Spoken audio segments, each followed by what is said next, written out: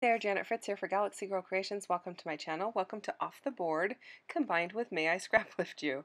Um, today I am working on a layout that I just absolutely love. So first I went to my Pinterest board and I chose this pin to apply the, this color scheme to this layout from Jackie Scraps. And I just really love this layout. Um, I love all of those layers so much. So I haven't done a layout with layers like that in quite some time and it is actually one of my favorite things to do. I just haven't done it in ages because, um, well, actually, I don't even know why. But uh, so what I did was I went through my bin of branding strips and I pulled out anything that was in the pinks to wine color, um, kind of burgundy, anything that kind of fit in that scheme. And I just pulled them all out and started playing around with the placement of them. Now in the um, inspiration piece, it looks like she has a piece of striped paper across the top. And um, I was going to do that, but I couldn't find anything striped that I really liked. And so I thought, you know what, this is another perfect opportunity to use up branding strips. And I've been using branding strips quite a bit through the, the month of May. And so I'm, that makes me super happy because I have quite a big um, actually they're in a vase and they're standing up in a vase and so I have quite a few of them in there and so it's kind of nice to get them out and get them onto a page. So I went ahead and put them uh, into stripes and then I trimmed down the edge. There were a couple of them that were a little shorter. I think two of them were actually like sticker borders and so um, they weren't quite 12 inches long so I trimmed it down and then I backed the whole thing with black as you see there and then that top edge of the paper had a little bit of a white reveal on it so I am just um, going through with some I think it's abandoned coral is the color that I am using there just to uh, remove that little white strip so that there's no white between the pink and the black at the very very top. Now, you might wonder why I'm scrapbooking a picture of a peanut butter and jelly sandwich. Um, interesting story.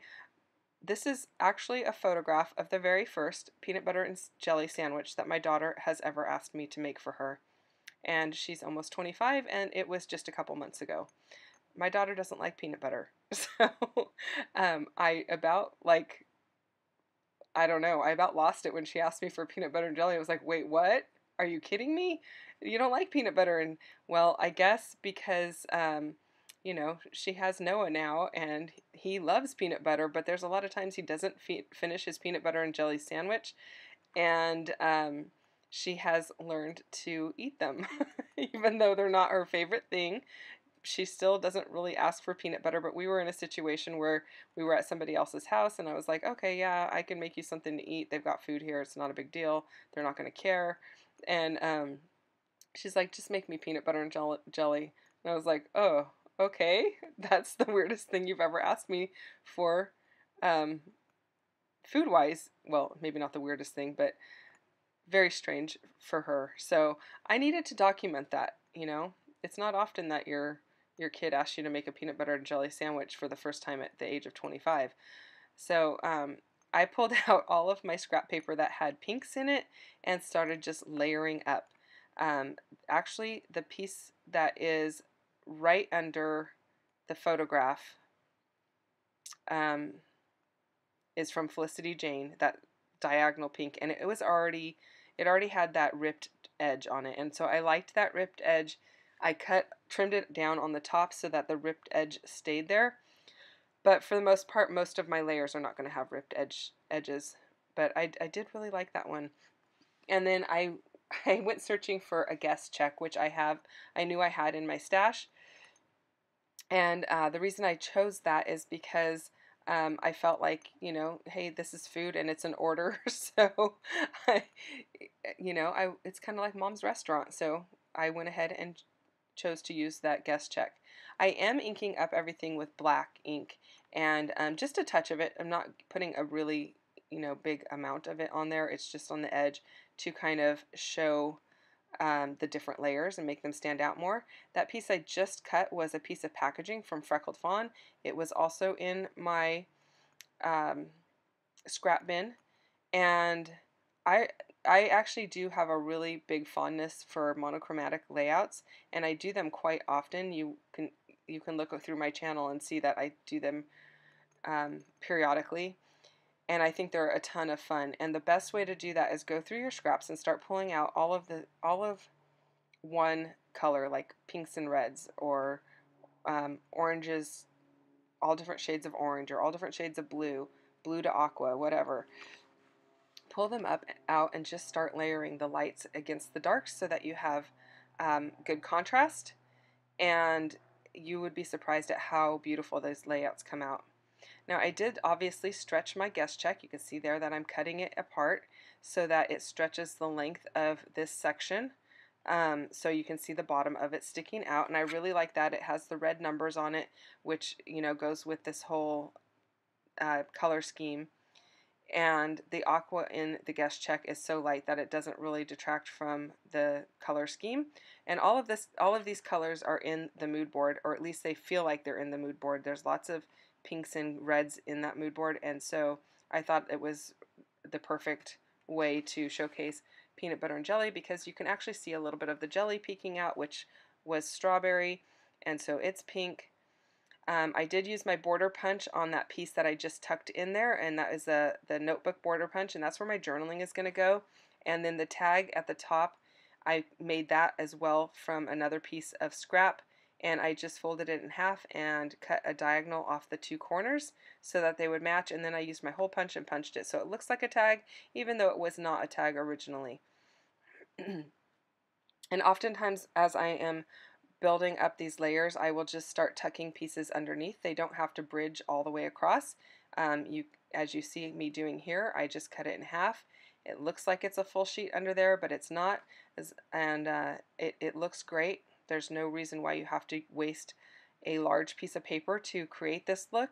Um, your scrap bin will probably be super handy unless of course you don't have a scrap bin so and I know that most scrapper most scrappers do. There are some that don't, but not not that many, at least from what I know. So um, I also had that red tag that has the silver um, edging around it, and I thought that was really cute down at the bottom corner, and so I am definitely going to use that. And I am pulling in a little bit of mixed media. I'm using this stamp. The stamp is from Art by Marlene, and um, it is just a plus stamp, plus sign stamp. And I am just going to tuck that in underneath uh, some of the areas here to create a visual triangle of black. So I'm not adding any additional colors, I'm just adding black and then of course all of those pink and red tones.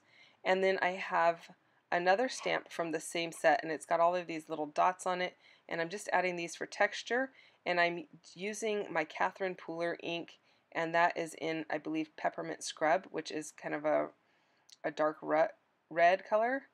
And so I like how that's looking. It's just giving some added texture to the whole layout.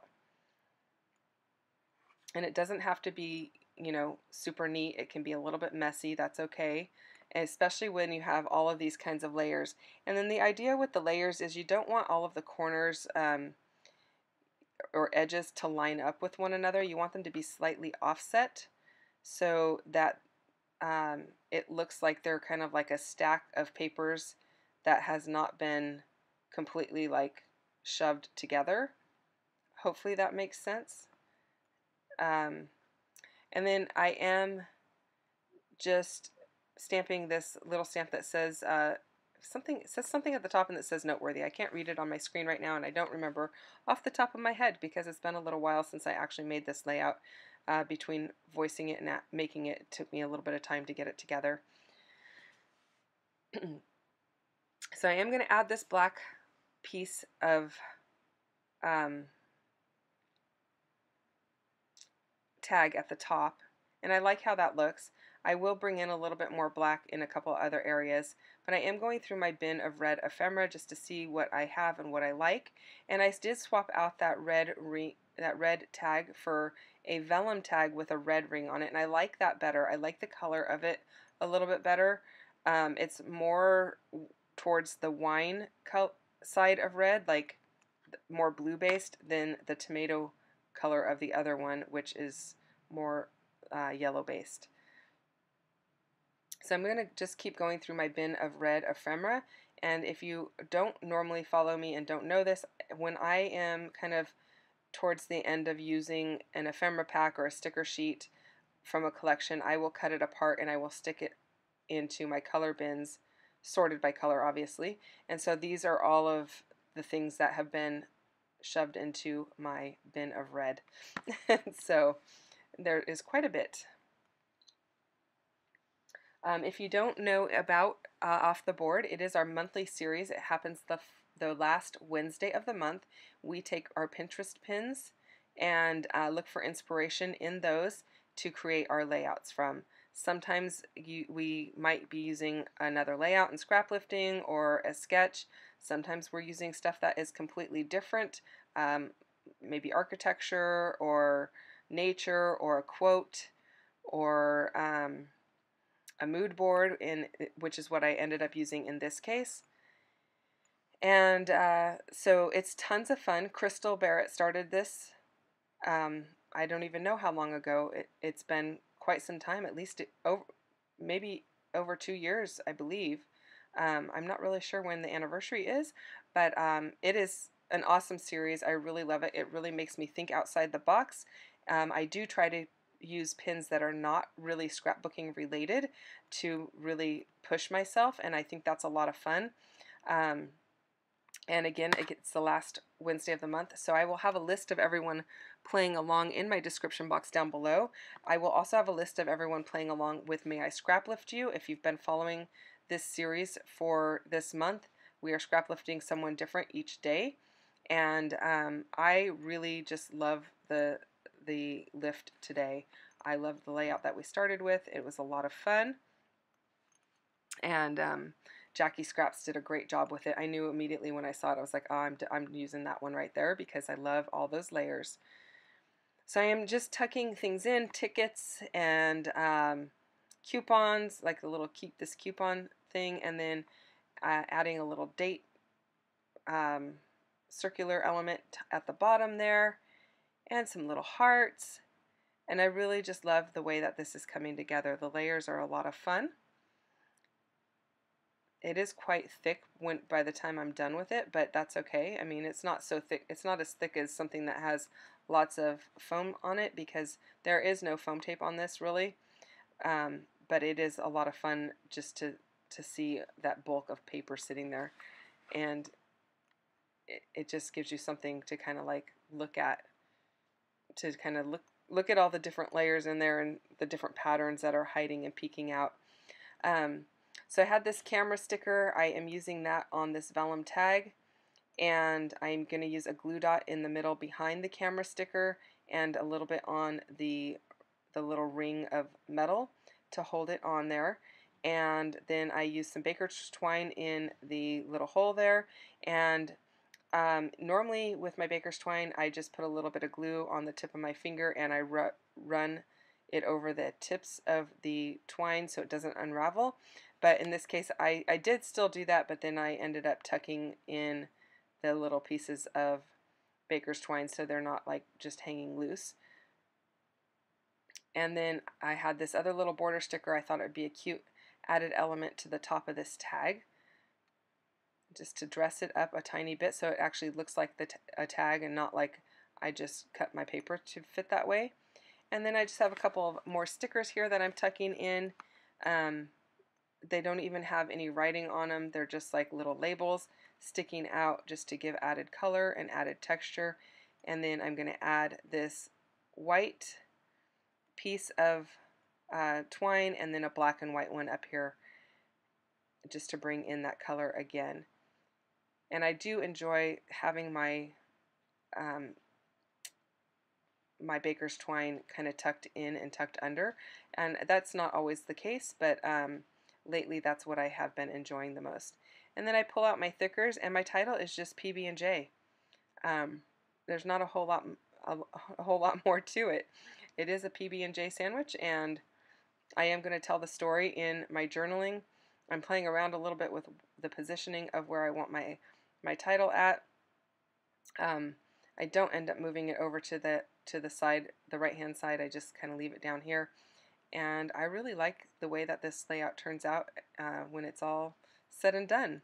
So I hope that you enjoy it and if you are enjoying this series go ahead and give a thumbs up if you don't mind and if you're not already subscribed I'd love for you to subscribe and um, get notifications on when I put out new videos. I try to put out stuff um, on a regular basis. I've been playing along all month so there's been a video every day this month.